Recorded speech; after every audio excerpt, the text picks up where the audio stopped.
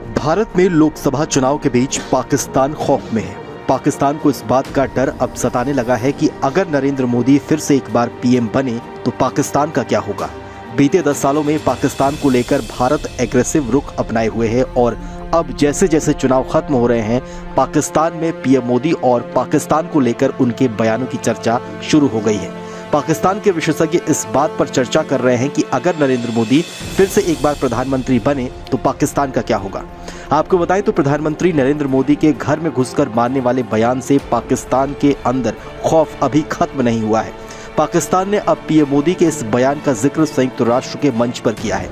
संयुक्त राष्ट्र में पाकिस्तान के स्थायी प्रतिनिधि मुनीर अकरम ने आरोप लगाया है कि भारत पाकिस्तान के अंदर घुसकर लोगों को मार रहा है। अकरम ने संयुक्त राष्ट्र में भारत के प्रधानमंत्री मोदी के उस बयान का ज़िक्र किया है, जिसमें उन्होंने कहा था कि ये नया भारत है, आतंकियों को उसके घर में घुसकर मारता है। अकरम ने संयुक्त राष्ट्र के मंच का इस्तेमाल भारत के खिलाफ दुष्प्रचार करने के लिए किया। वॉशिंगटन पोस्ट का ज़िक्र करते हुए अकरम ने कहा कि भारत के प्रधानमंत्री मोदी ने अपने समर्थकों से कहा था कि आज भारत के दुश्मन जानते हैं कि ये मोदी है। ये नया भारत है, ये नया भारत घर में घुसकर मारता है। इसके साथ ही पाकिस्तान भारत को लेकर इतना डरा हुआ है कि उसने कनाडा और अमेरिका में मारे जा रहे आतंकियों की हत्या का आरोप भी भारत पर लगा दिया है। हालाँकि संयुक्त राष्ट्र में भारत की प्रतिनिधि रुचिरा कंबोज ने पाकिस्तान को ऐसा जवाब दिया कि पाकिस्तान की बोलती बंद हो गई। रुचिरा कंबोज ने पाकिस्तान के आतंक समर्थित ट्रैक रिकॉर्ड को यूनाइटेड नेशंस के सामने खोल कर रख दिया। रुचिरा कंबोज ने कहा कि हमने एक निश्चित प्रतिनिधि मंडल की टिप्पणियों से खुद को अलग रखने का फैसला किया है।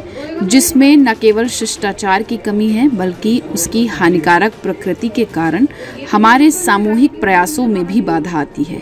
क्या उस देश से नहीं पूछा जाना चाहिए जो सबसे संदिग्ध ट्रैक रिकॉर्ड रखता है? पाकिस्तान आतंकवाद के ज़रिए हर तरफ़ कलह फैलाता है, शत्रुता पैदा करता है और दुनिया भर में सांस्कृतिक और धार्मिक परंपराओं की वकालत करने वाले सम्मान और सद्भाव के सार्वभौमिक मूल्यों को कमज़ोर करता है।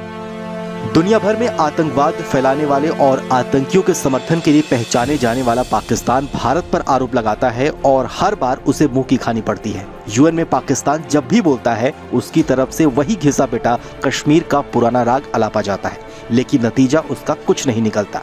ऐसे में अब फिर एक बार पाकिस्तान डरा हुआ है कि कश्मीर से धारा 370 हटाने के बाद कहीं भारत कश्मीर को लेकर कोई और बड़ा कदम तो नहीं उठाएगा। क्योंकि रक्षा मंत्री राजनाथ सिंह, गृह मंत्री अमित शाह से लेकर पीएम मोदी तक कश्मीर के मामले पर जब भी बोलते हैं, खुलकर बोलते हैं और तब पाकिस्तान की नींद उड़ जाती है।